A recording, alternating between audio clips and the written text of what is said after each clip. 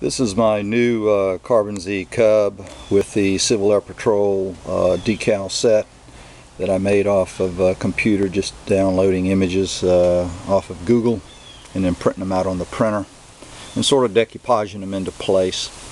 Uh, the Apprentice S15E is in the background just for a comparison of size uh, for those of you that might not be familiar with the Carbon Z which is a very large airplane.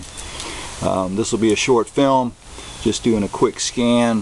Um, South Carolina Civil Air Patrol wing uh, symbol uh, an old Civil Air Patrol uh, uh icon for emergency services uh, a modern uh, Civil Air Patrol logo. Many of the aircraft have Civil Air Patrol or CAP on the on the wings which is depicted here. And as I normally do I like to capture uh, the crew, which is myself and a, a buddy of mine um, sitting in the cockpit. Okay, that's it. Civil Air Patrol logos for my Carbon Z.